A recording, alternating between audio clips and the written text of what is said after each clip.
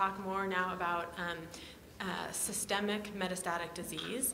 Um, and we're really lucky to have Melinda, Dr. Melinda Yushak with us um, from the Winship Cancer Institute of Emory University to talk about this. Um, and I just wanted to highlight what I just mentioned over here to your question and just remind everybody that we also have a session, a panel tomorrow morning um, from other colleagues at Emory who um, use targeted therapies, so like ablation, different liver-directed treatments to the liver and outside the liver who can talk about those so, sorts of targeted treatments. So this is really from a systemic medical perspective, um, but those other treatments will be discussed more tomorrow morning. I think you refer to that in your talk too. So thank you, Dr. Yushak. And thank you for the invitation. I'm really excited to be here today with everyone. Um, so, so like she said, I'm a medical oncologist at Emory, so I'm going to be talking about things kind of from a systemic point of view. So first, I'm just going to talk a little bit about some basic terminology that we as medical oncologists often use. Um, and then I'm going to talk about just some of the basics of clinical trials because clinical trials are really an important point, and I'm going to be talking a lot about different options for clinical trials because we really need to learn about new treatments. And then I'm going to talk finally about different treatment options that are available, and I'm going to focus on a lot of the open clinical trials currently.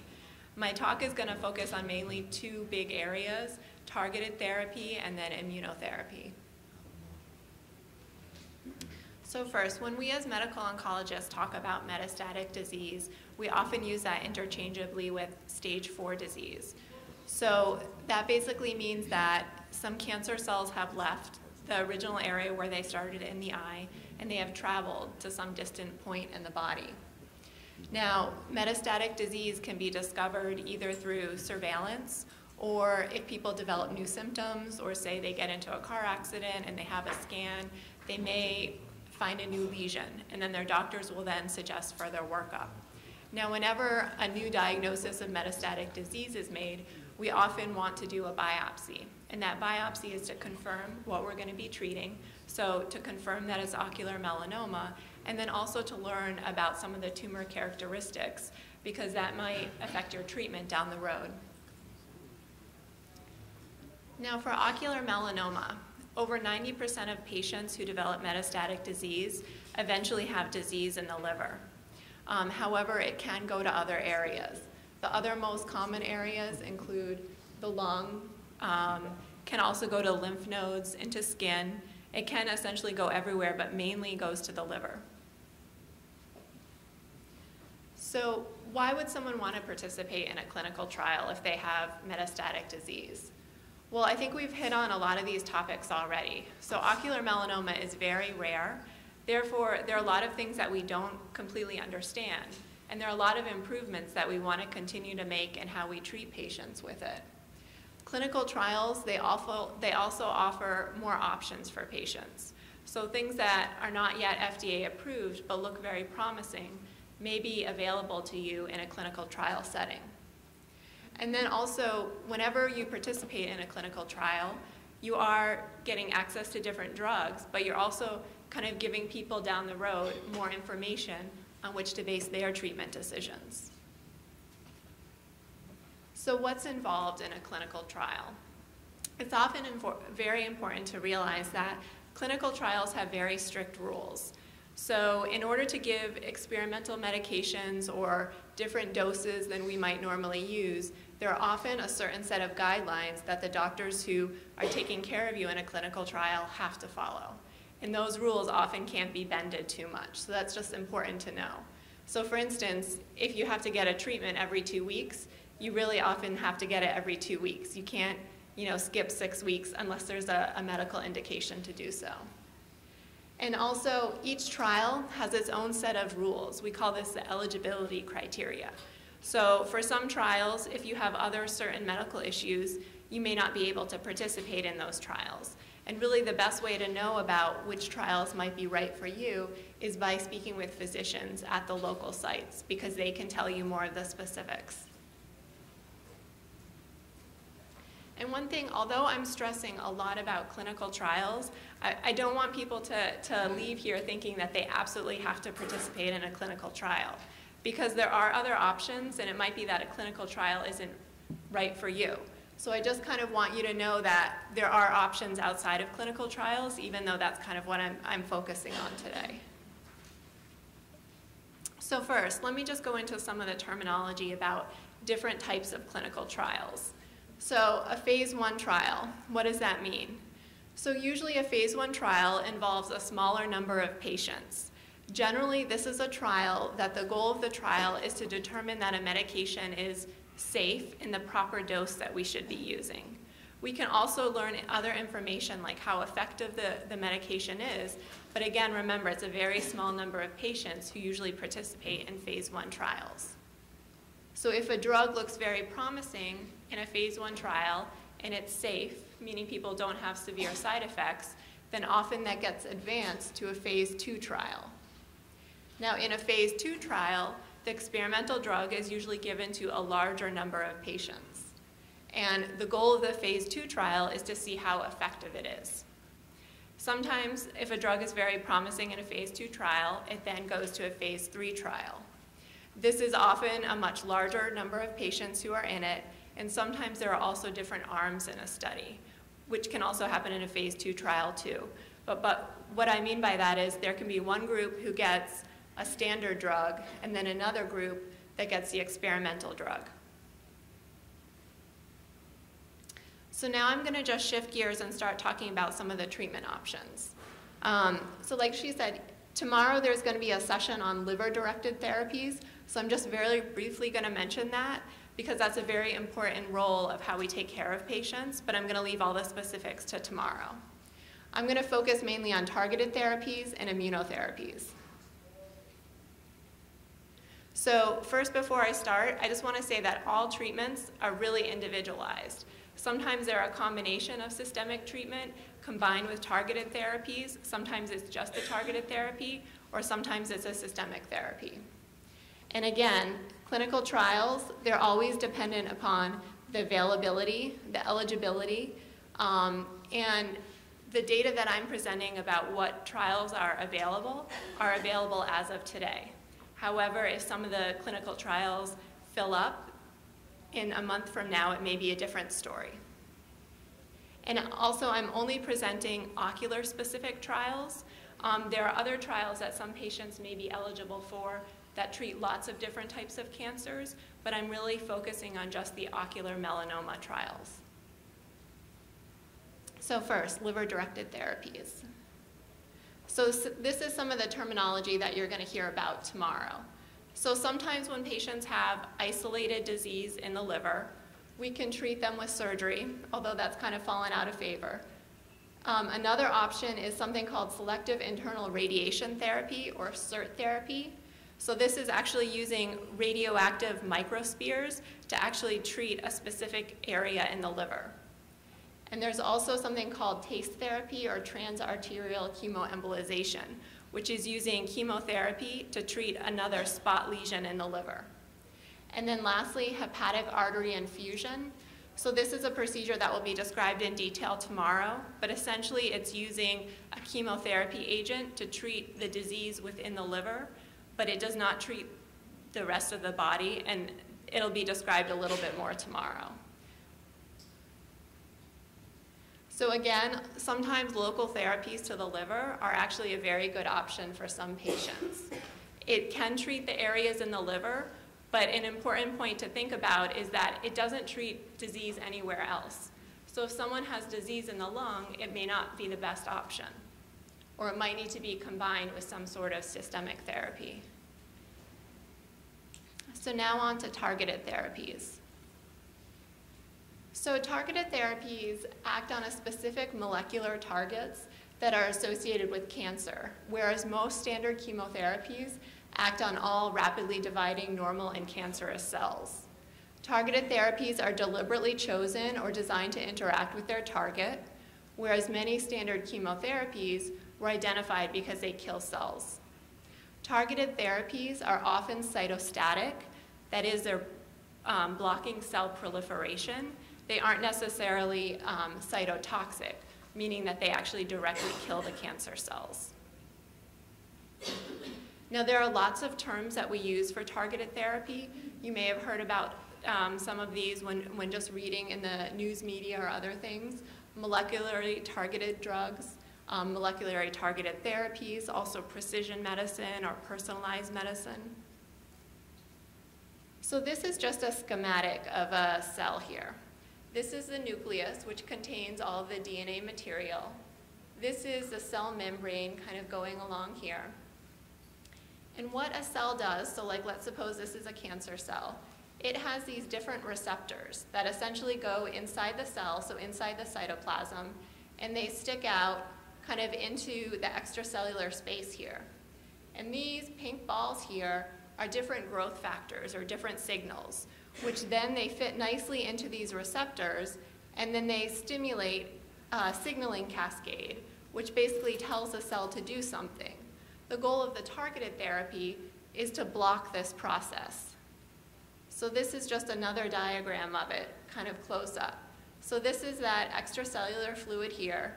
This is the cell membrane, and this is one of the receptors, which kind of lays in between. So here we have this signaling molecule, which then goes, hooks up with the receptor, and then this stimulates signal transduction, which is basically telling all of these molecules within the cell to do something. And often in a cancer cell, this results in the cell growing, it proliferating, it moving, doing all sorts of things that we don't want a cancer cell to do.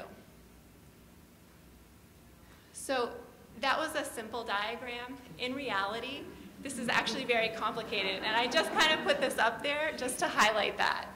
So this is actually even a more simplified diagram than some others out there, but this is, again, the cell membrane here, and these are just all different receptors, which kind of happen, um, and they're all working simultaneously, and these are all some of the signaling pathways kind of down here going into the cell nucleus.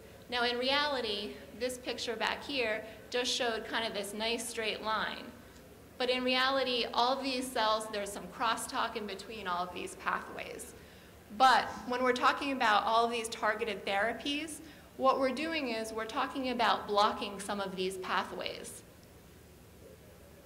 So in cutaneous melanoma, we often talk about BRAF mutations. So about 50% of patients who have cutaneous melanoma have a BRAF mutation. And that's very important because if those patients have a BRAF mutation, they can actually have a targeted therapy called a BRAF inhibitor. Now, um, and dabrafenib and trametinib and vemurafenib and cobimetinib are different medication combinations that are approved for people who have these BRAF mutations. Now, in ocular melanoma, very rare to have a BRAF mutation. However, as we heard earlier, there's actually ocular melanoma has a high rate of GNAQ and GNA11 mutations. Now, there are clinical trials in the works looking at targeting these mutations, but as of yet, there's no kind of equivalent to what we have in cutaneous melanoma. So the first drug that I'm going to talk about that's in clinical trials is something called uh, cabozantinib. So it's a tyrosine kinase inhibitor. So basically it hits several different of these um, receptors in the signaling transduction pathway. It's taken as an oral drug. It's currently in a phase two randomized trial. And, and at the end of all these slides, I have a list of everything. So if people want to write stuff down, they can just wait till the end or I can email out um, some of the information. The phase two randomized trial means that some of the people will be getting this drug and then other people will be getting what we consider a standard of care drug, which in this trial is something called temozolomide or dacarbazine. And it's randomized, meaning you don't get to choose which arm you, you are in. Now the common side effects of this medication include diarrhea, mouth sores, something called palmar-plantar erythrodysesthesia, which basically means people can get um, sensitivity and redness on their palms and on their soles, and it can also lead to some some blistering and callus formation, which can be painful. Um, fatigue, high blood pressure, decreased appetite, and then some liver and blood count abnormalities. And although rare, there have been some severe bleeding and clotting risks associated with this medication. The next drug I'll talk about is something called LXS196. So this is an oral drug. It's um, in a phase one trial, meaning that um, they're starting with a low dose level and slowly increasing the level of the drug that they're giving. It's something called a protein kinase C inhibitor. So kind of right over here, that's where that is. So it's trying to work to block this signaling cascade right here.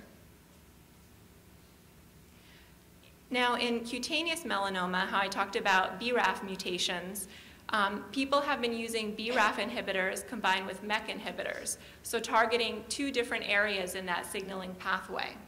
So a similar thing is also being used in ocular melanoma.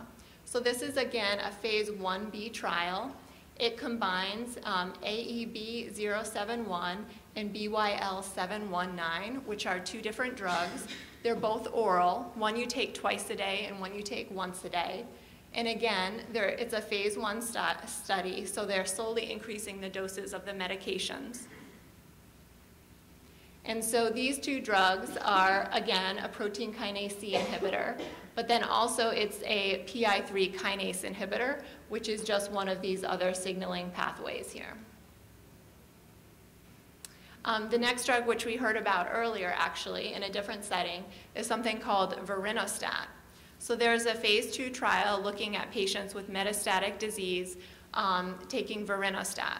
So again, this is an oral drug. It's given twice a day for three days every week. And this is specifically aimed at patients who have a specific GNAQ or GNA11 mutation. So this drug is an HDAC inhibitor. Essentially, HDAC is involved in the expression of DNA. So we all have lots of DNA in our body, and not all of it is being used all the time. So whenever a cell wants to, um, say, copy their DNA to, to accomplish whatever cellular processes that they need to, they basically have to take the DNA, which is normally in this very tightly wound um, configuration, and it has to be unwound so then the DNA can replicate. Now, there's a fine balance between having the DNA coiled or very, very tightly um, wound up and being kind of open so then it can uh, replicate. So what happens is a tumor suppressor gene can be turned off um, when it's in this configuration. However, if you do use an HDAC inhibitor, which kind of prevents this from going back that way, essentially you leave uh, the DNA in this state, and if it happens to be a tumor suppressor gene, then you're turning that on essentially, so promoting tumor suppression. So common side effects, fatigue, diarrhea, nausea, taste changes, increased blood sugar, and then elevation in your um, kidney function, and you can also get a low platelet count from this medication. And again, I put up some of the side effects just so you know, but not everybody gets everything that I'm talking about. So, so now switching gears a little bit to immunotherapy, which I think a lot of people are very interested in. So we all know that the immune system is very, very important just in our daily lives. Um, it really helps our bodies defend against foreign invaders. So we use it on a regular basis to defend against bacteria, viruses, parasites, whatever things we come into contact with in our daily lives. The immune system is actually a very complicated system. There are several different kind of organs involved. We have the lymph nodes, the bone marrow, which um, produces, um, you know, some of the white blood cells, and we have white blood cells that are kind of floating around in our bodies during the day. Now, there are a variety of cell types that are within the immune system, and this is just a schematic of some of the different types that we often use on a, on a regular basis to help kind of keep our, our cells healthy. Now, for cancer, I'm going to be focusing on kind of these over here, the B and the T cell. The B cells here are, in this schematic, are making antibodies. Now, antibodies are proteins that are normally produced by our body. They identify and they help neutralize threats. They're kind of shown usually in this Y-shaped configuration. And here at this end, they have what's called an antigen binding site. So antigen is basically a foreign protein, essentially, or something that the antibody can attach to. This can be something like bits of a tumor cell. It can also be something like bacteria whatever it is that the body thinks it needs to recognize.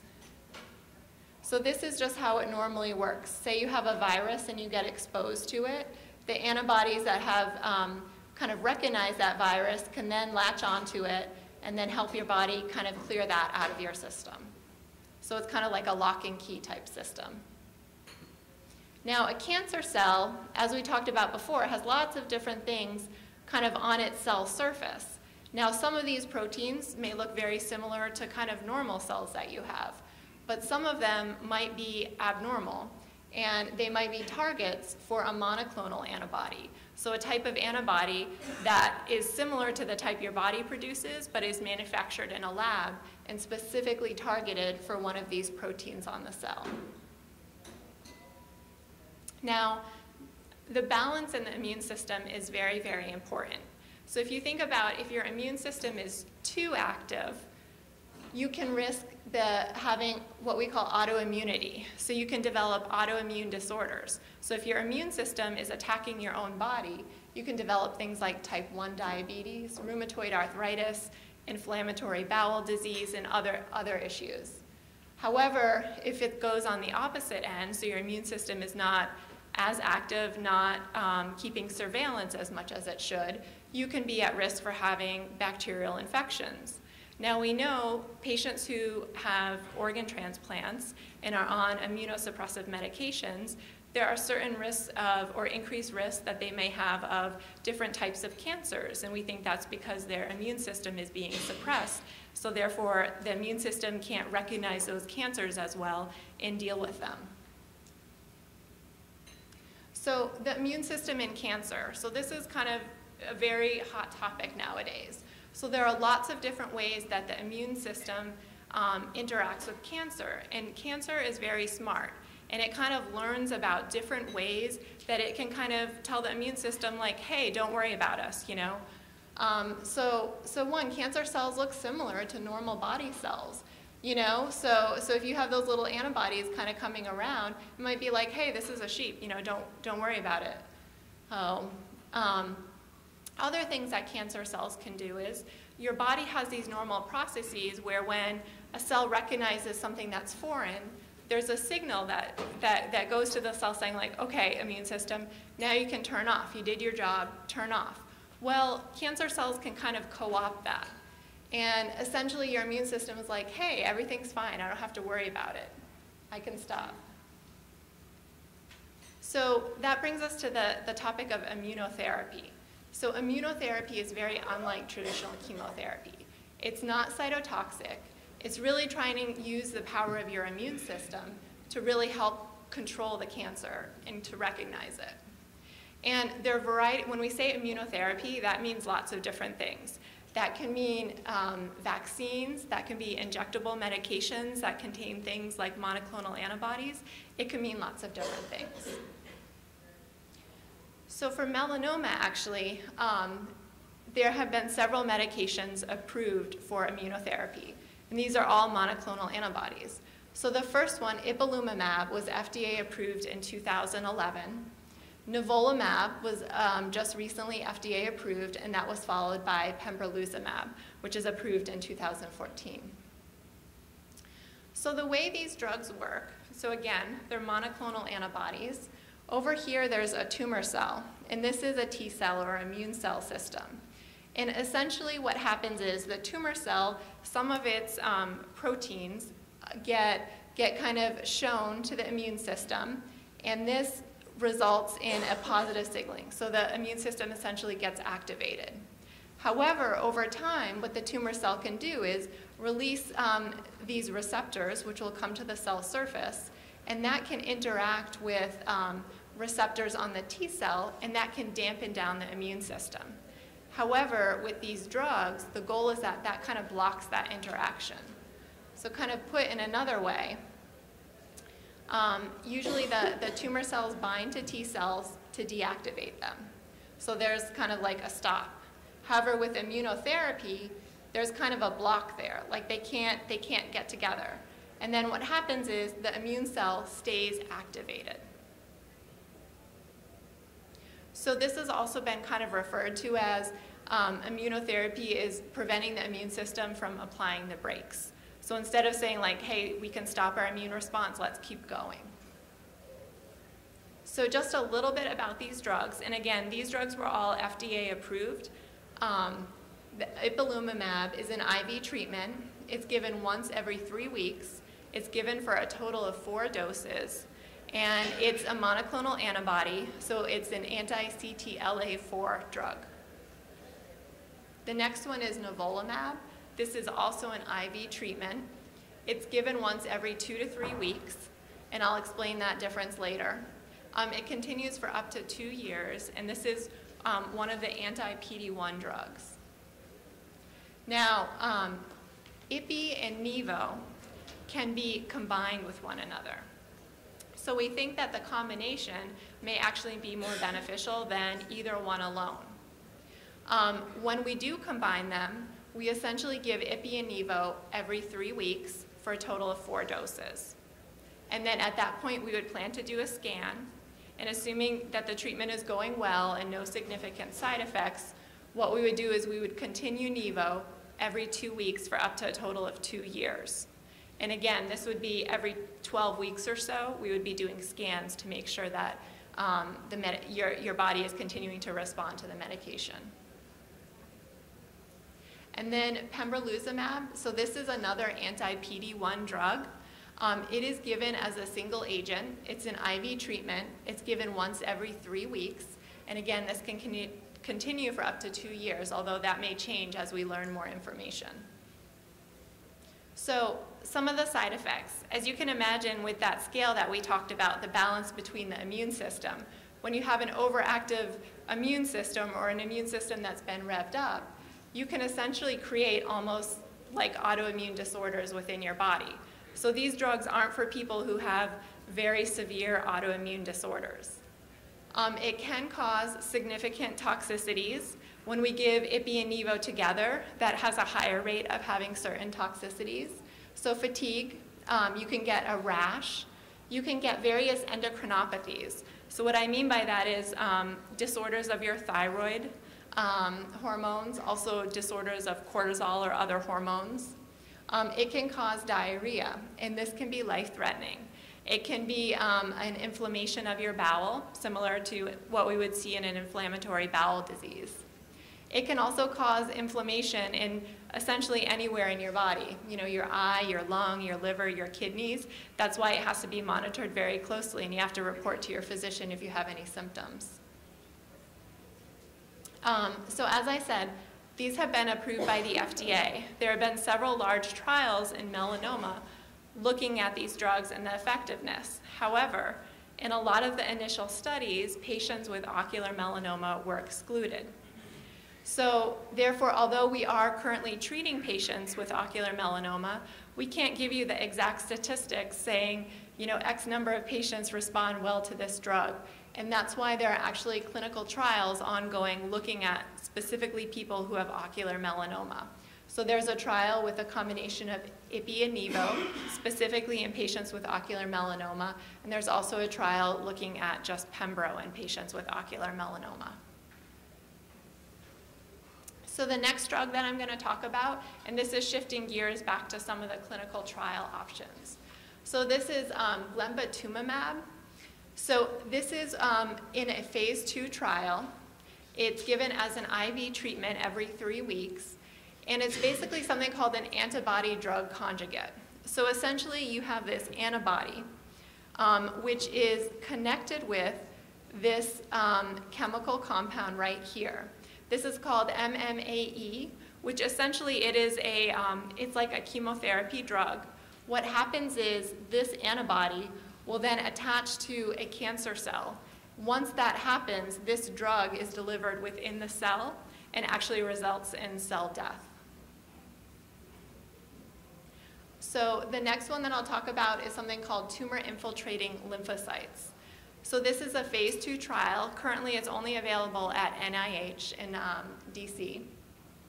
Essentially what it is, and I have a diagram on the next slide, but it's chemotherapy followed by um, infusion of these TIL cells. And then some of the patients in this trial will receive IL-2, which is another drug afterwards, and some patients won't. Now, this is a very intensive uh, treatment. Most patients will actually be hospitalized who, who participate in this for about four weeks or so. So what happens is um, a surgeon or someone will excise a portion of the tumor. What they will do is once they've harvested that, they'll bring it to the lab and they'll try to culture some of the tumor cells and some of the lymphocytes. So the lymphocytes essentially are certain white blood cells. And what they want to do is have certain white blood cells which will then recognize the tumor cells. So they try to culture these TILs and they use it with a medication called IL-2 in, um, in the lab. They select for certain TILs which will recognize specific um, tumor antigens and then they, they grow those. And this whole process here of growing them can take weeks. That's why this technology, it's really only good for a certain select group of patients. Because remember, during this time, you may not be getting as intensive treatment. So once these have grown up, um, the person will then go into the hospital. They'll receive high doses of chemotherapy with the goal of essentially ablating um, or significantly decreasing a lot of your own normal circulating lymphocytes in your body. Once that's happened, these cells that have been grown will then be infused back into you. Now, half the patients will then get IL-2 therapy, which the goal of that is to stimulate your immune system more, and then the other half will just kind of be followed after getting the TIL infusion. So um, next topic that I'll talk about is a vaccine and an IDO inhibitor. So IDO is an enzyme that essentially promotes immune suppression and tolerance. Um, and some cancers have also been shown to overexpress IDO. Um, uh, vaccines have been around for a long time. The goal of vaccines is essentially to introduce, again, foreign protein, foreign antigen, which then can help stimulate an immune response. So these are given together. Um, the IDO inhibitor is an oral pill that you take twice a day. The vaccine um, is given six different injections, usually into the arms, are given over a 98-day period. Um, and again, this, this can be extended as long as patients are tolerating it well. Um, here, actually, I've come to my summary slides. And this actually summarizes, so what I've done is, and we can send these out to you or you can take pictures of them, whatever you would like. Um, this is a clinicaltrials.gov identifying number for each of these trials along with the titles. So these are a summary of the immunotherapy trials here. And then this is a summary of some of the targeted therapies that I talked about. So I'd just like to thank everybody for listening, um, and I'd like to thank the um, Cure OM for having this wonderful meeting. So I think it's great to have everyone get together and discuss different ideas. Um, Dr. Kudchadkar and Dr. Lawson are my colleagues at Emory. Um, so I'd like to thank them and then just everyone else at the melanoma team at Emory. And I'm happy to take any questions that anyone might have.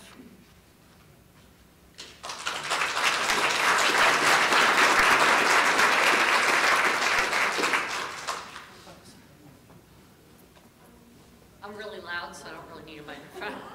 Um, could you tutor my son in biology? um, my question is, is my husband's gotten through, he went through the Ipi-Nivo, and now he's on, what are you on now? Yeah. Um, and I guess I'm confused because when they did his PET scan, they said, oh, the tumor is larger, but they weren't sure if that was, and then the PET scan, the uptake was less. And so I don't know how much faith, you know, we can put in that or what that means. And then um, why they would do the uh, radioembolizate, the mm-hmm. spheres. If, does that mean there's more of a problem that they want to do that, or is it just a good adjunct therapy to the? Yep, no, so that brings up a couple of good points. So, so one for immunotherapy. So whenever someone gets immunotherapy and they have their kind of first set or even sometimes two scans, what we can often see is some of the tumors actually increase in size first. And the, the thought behind that is that, okay, now you're stimulating the immune system to now recognize this cancer as being foreign. So then you have an influx of actually immune cells into the tumor. Now, when we do the, the, the CT scan or PET scan, we see the size gets bigger. We can't tell if that's tumor or if that's inflammation. So a lot of times what we do is we may, um, we may, you know, say, okay, if everything's okay, we'll just repeat another scan and continue with the immunotherapy. Now, sometimes certain lesions can respond and certain lesions don't respond. And that's probably related to the different biology of different tumor sites. So we talk about, you know, metastatic disease as, oh, there's a lung lesion, there's a liver lesion. In reality, and even probably within the liver, different tumors have a different biology. So it might be that if everything else is responding except one lesion, that it's a good idea to do some local therapy for that. Because then if you're able to control that one lesion, but everything else is still responding, you can keep doing that, that treatment. Does that make sense? Yeah, it's just that, so, I'm So- trying to think. Yeah, it, It's- it's hard to say like in the specific situation, Right. but the liver-directed therapy, especially if you're doing SIR-Spheres or, or, or TACE, um, it's good at shrinking or treating like one specific lesion. It doesn't treat kind of everything else. So if the, everything else is getting better with the immune therapy or is stable, then it might be that, that one specific area needs to be treated. And another thing too is with radiation or with um, like radiation or local therapies, um, when they result in kind of some of the tumor cells dying, we think that that actually releases the antigen or the foreign protein from the, from the melanoma. And that your body then might actually have a better immune or a more robust immune response because it's been, the, the number of antigens kind of circulating has, has increased. Now, that's, that's a theory, it's something called the abscopal effect when we talk about it with radiation. Um, but, but that may be some of what, what's going on. Okay, So, Thanks. Yep. Hi, I'm Hi. Kristen from Philadelphia. And I guess if you could maybe just walk us through, so a patient now has metastatic disease. Mhm. I guess you're doing, obviously you're doing a biopsy. And are you sending that for sampling or genetic testing to then say, okay, do we give you an MEK inhibitor or do we give you immunotherapy or do we look at doing liver-directed treatment? So I guess that's what I'm kind of looking for an Yeah. answer. And then, you know, usually your first trial is going to be your best bet. And then how do we as patients kind of do that? Is that what you're going to say, hey, here's the NIH registry, here's all these choices, or wow, I want you to stay at Emory because we need more patients for our trial? Yeah, no, that's a, that's a good question. I, I think, to, to be honest, it depends on essentially what trials are available, how willing you are or your family member is to travel to different trials, and then I think it also depends on the clinical situation. So if you have, say, an extremely large liver lesion but no other sites of disease, it might be that liver-directed therapy is the best option at that period of time.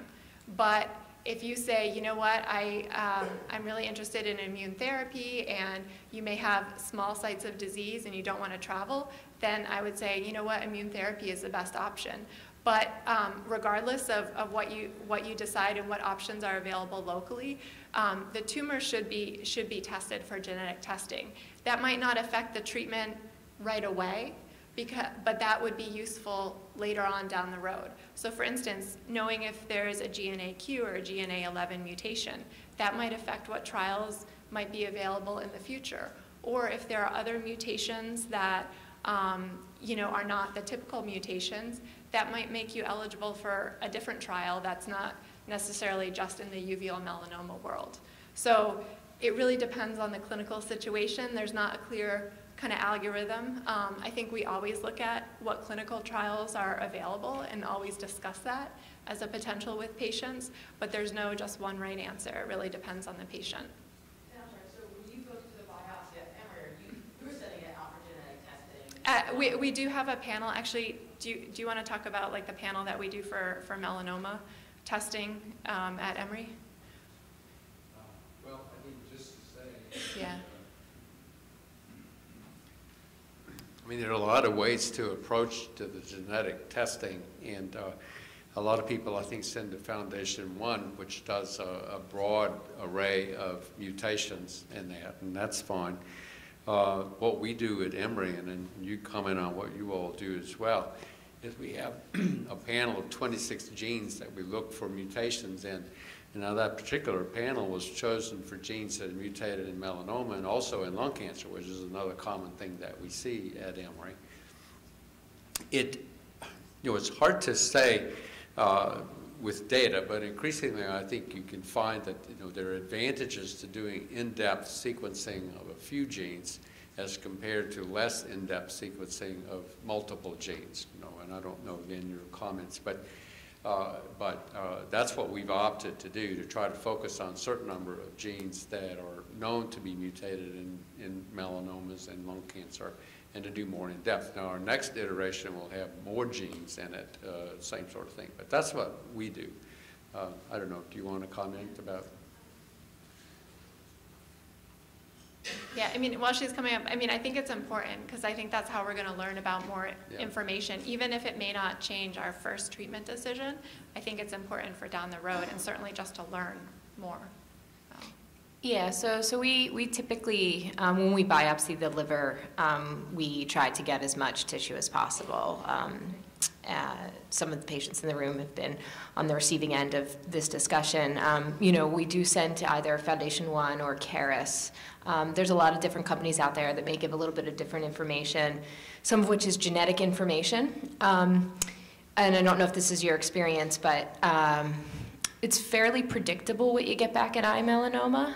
There's actually very few mutations. So I think uh, we talked a little bit before about, you know, you see GNAQ, GNA11. Um, we're starting to see maybe some EIF1AX in the SF3B1. Um, and these are all things I think that were also explored in the TCGA, that like genome atlas. Other than that, there's not a whole ton that comes back um, that at least has clinical implication at this point. Unlike skin melanoma um, or other cancers um, who have a large mutation load. Um, so we send it off, but again, it's not really changing our management up front. One of the other things we do do with our tumor, um, and again, when you talk about things like Caris or Foundation or a platform just used at your institution, there's kind of two separate tests that can be done. So one is kind of gene sequencing, and the other thing is called immunohistochemistry, so stuff that you can stain for. Um, and one of the things, kind of based on a lot of the work that's been done in immunotherapy that we've looked at, is PDL1 staining or PD1 staining, or the presence of tumor infiltrating lymphocytes, and how that may dictate your treatment. Um, and what we've kind of experienced again is this is another area where eye melanoma is very different than skin melanoma. Um, it doesn't seem to have the same PD1, PDL1 expression. The immune system just doesn't seem to be there, at least in the beginning. Um, so, so we often will do next generation sequencing based on some things, and then also the, um, the staining component. Okay. Well, thank you, everybody. I appreciate your attention, and I'll be around if you have any other questions.